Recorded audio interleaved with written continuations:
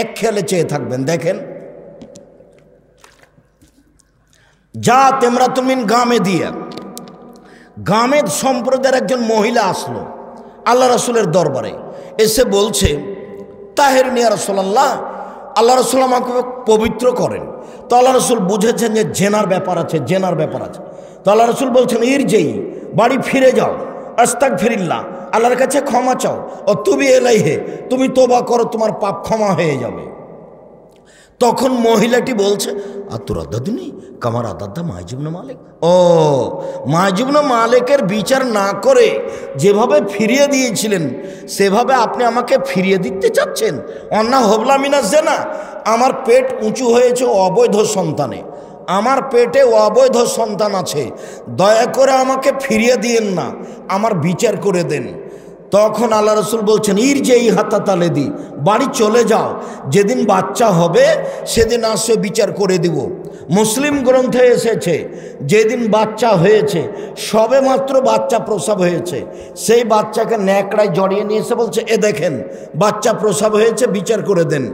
দৃশ্য দেখে আল্লাহ রসুল বলছেন, শোনো ইরজেই বাড়ি ফিরে যাও ফরদি হে, বাচ্চাকে দুধ খাওয়াও, হাতে তপ্তে মেয়ে বাচ্চা যেদিন দুধ ছেড়ে দিবে, সেদিন এসে বিচার করে দিব। মহিলা বাচ্চা নিয়ে চলে গেল, দুই বছর বাচ্চাকে দুধ খাওয়ালো, দুই বছর পরে বাচ্চাকে নিয়ে বিচারালয়ে উপস্থিত। তখন বাচ্চার হাতে এক টুকরা রুটি রয়েছে, রুটি প্রমাণ করে বাচ্চা খাদ্য খেতে পারে। বাচ্চাটাকে একজন মুসলমানদের হাতে আল্লাহ রসুল দিলেন। দিয়ে বললেন নিয়ে যাব বিহা, সঙ্গী সাথী, তোমরা একে মাঠে নিয়ে যাও।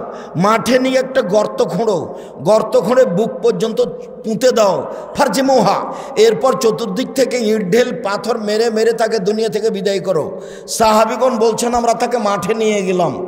গর্ত খুঁড়লাম। গর্ত খুঁড়ে বুক পর্যন্ত মাটিতে পুঁতে দিলাম। চতুর্দিক থেকে ইট, ঢেল, পাথর মারতে লাগলাম। খালিদিনে ওয়ালিদ বলছেন, একটা পাথর আমি তার মুখের উপরে মারলাম। ফাতানার জাহাদ দাম আলোয়াজে খালিদ। পাথরটা মুখে লেখে, মুখটা ফেটে রক্ত ছিটে খালিদের গায়ে লাগল। ফাসাব্বাহা! খালিদ তাকে গালি দিয়ে বসলেন চি চি চি চি চি চি একজন জেনাকারিনীর মহিলার গায়ে রক্ত আমার গায়ে লাগল? এ বলে খালিদ রাজিয়াল্লাহ তালাকে গালি দিলেন। আল্লাহ রসুল বললেন মানে নেই খালিদ। খালিদ, থামো, গালি দিও না। এভাবে তুমি গালি দিয়েছ কেন? লাগা তাবত এই মহিলা এত তোবা করেছে, এই মহিলা এত ক্ষমা ভিক্ষে চেয়েছে। এরকম ক্ষমা যদি বড় থেকে বড় পাপি চায়, তাহলে তার পাপ ক্ষমা হবে খালিদ। একে গালি দিও না। শোনো, এ এমন তোবা করেছে, এই তোবা যদি মদিনার পাপীদের সবাকে ভাগ করে দেওয়া হয়, সবার পাপ ক্ষমা হয়ে যাবে। একে গালি দিও না। হাদিস তো বোখারি মুসলিম।